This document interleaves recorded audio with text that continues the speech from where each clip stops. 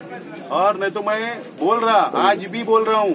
पत्रकारों के सामने बोल रहा, जिस थर्ड पार्टी पे तुम आज चेक इशू कर रहे, वो थर्ड पार्टी के बोगस लेटर हेड मालेगांव महापालिका में छपे।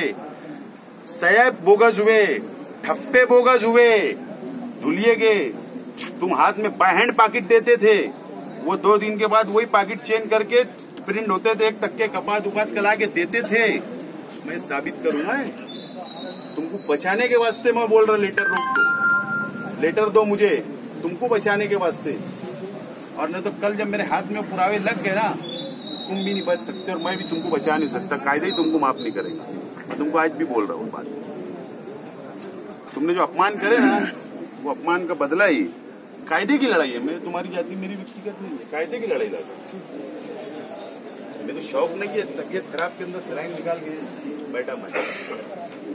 समझे साहब, ये कुछ नहीं, तुमको उठाने बोल रहे ना मेरे को? पाँच मिनट रुको, ये लेटर मत दो, मैं उठने वाला है।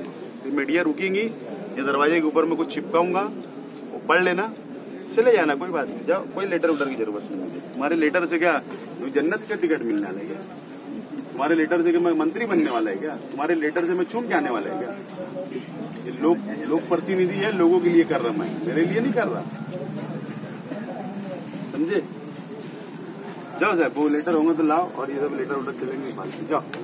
सबको आशीर्वाद है तुम्हारे को बड़े बड़े लोगों का बड़े बड़े नेताओं का जिला स्तरीय नेता का राज्य स्तर के नेता का आशीर्वाद है। जाओ। मैं चेक रुकाऊँगा कल तुमको फ़ोन आएँगे चेक दो मुझे मालूम है सब लोग ने तुमको बोल के आश्वासन दिए।